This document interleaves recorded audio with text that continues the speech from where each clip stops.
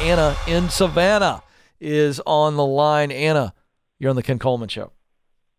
Hey, Ken. Um, I am wanting to transition from um, a well paying government sector job to operate my mobile shave ice business that we started um, earlier this year.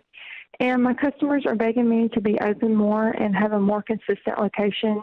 But because of my full time job, I'm unable to open consistently.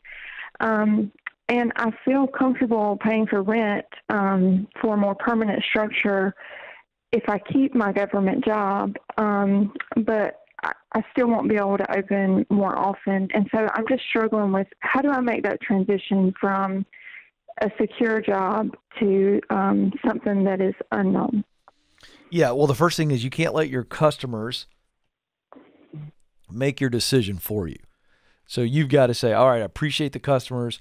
Uh, this is what we would call positive pressure, right? But mm-hmm. we've got to we got to make the numbers work. What do you make in your government job? Um, seventy six thousand annually. All right, seventy six k. And uh, excuse me, I'm folks. I've got allergies, and there ain't any way around this, Joe. I got a cough. All right, so everybody relax. I'm I'm, I'm COVID free. Sorry, coming right back to you, Anna. All right, I just muted the mic, Anna, so you didn't have to hear me cough in your ear. Aren't you grateful for that? All right. So, what do you make? What's your total net profit after expenses on this side hustle? Um, so after this year, um, we didn't, uh, we haven't generated a net profit yet because um, we we invested um, heavily on the front end. We had to buy the mobile unit and all of the things. A lot of startup. Okay. Um, this year. All right. Well, give me your um, gross. give me your gross. Your gross revenues. Um, we've made forty-five thousand this year. All right, so forty-five in gross revenue. Next year, you're not going to have all those capital outlays, right? And also, too, yes, sir. And next year, I will be able to be open more mm-hmm. if I quit. You know, if I make the transition. Yeah, but you can't quit. You know why you can't? Well, let me ask a couple other questions. Do you have any debt? No, sir. All right, and are you double income? We are. What's your husband make? He makes um, fifty-five thousand a year. Okay. So you're the bigger breadwinner there, okay, 55K. And um, you can't lose that revenue right now. You can't lose your income, correct?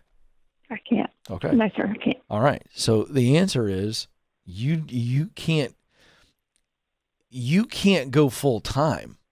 So there's two answers to your question. You can't go full time until you're making close to 76, you personally paying yourself out of the company. Okay? So round numbers, you brought in gross 45k last year, you you would have to you would have to double maybe triple the revenue. I don't know what your operating costs are per month, but you you you just do the numbers. What does it cost for you to operate each month?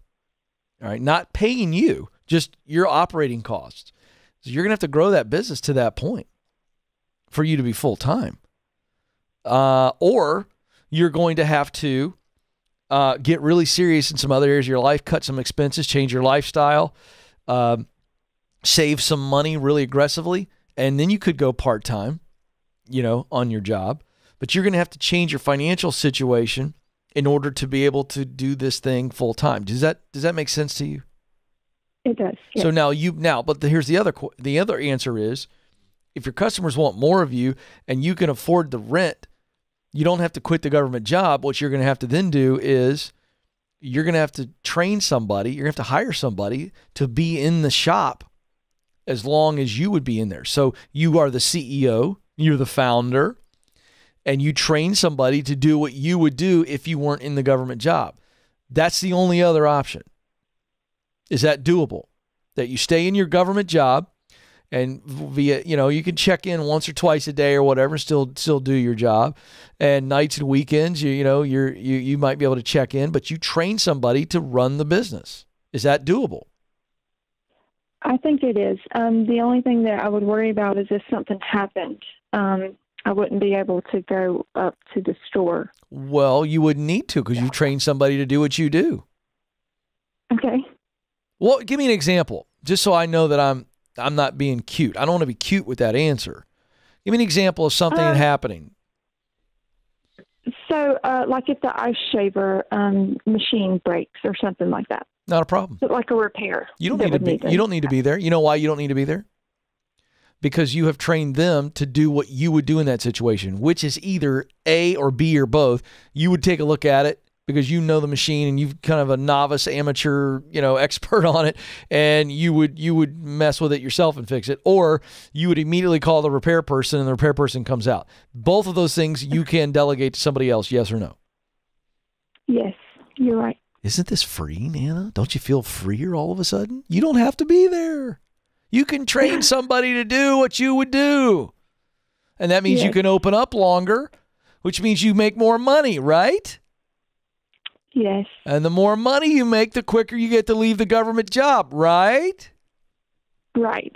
All right, so make some sacrifices where you need to make sacrifices to save more money so that you can get at least six months of your current salary in that bank account of your company. And that to me would be the earliest you can go full time. Okay. You understand? When you've got enough money in that bank account to pay you at least six months, and then with your full focus, if you walk away from the government job, you feel confident you don't have to worry about the next six months because it's spinning up enough revenue that you can pay yourself a salary out of it. Right? Yes. Okay. So, and to be honest like with you, idea. I know you do. and and and let me tell you something. You deciding to replace yourself right now, not as the owner, not as the founder, Anna, but as the chief worker, right? The manager. Right. You need to replace yourself as the manager. You're still the CEO. You're still the founder. But you need to replace yourself as the manager. That's how you get where you need to go. You make the customers happy, you make more money, and then you get to eventually step into it full time. So that's that's the path forward for you. And you have got to learn to trust people. And the only way you're going to trust people is by coming up with a real plan to train them on everything that you would do if you were in there as the manager. And once you train them on that and you know they're good people, high quality people, high integrity, high character, well, then you don't have to worry about anything. So that's all that's necessary. But this is going to take a, a, a, good amount of trust. Okay. But you got to trust yourself and how you've trained people. Okay. And you got to trust your instincts and your research that you've hired high character people. There's nothing else to worry about. But if you don't hire a high character person, they're not going to do what they're told. If you hire a high character person or multiple people, maybe it's two part time people equal one Anna in that manager role. Don't overthink this, folks. Replace yourself. You- You're not the only person that can do what you do.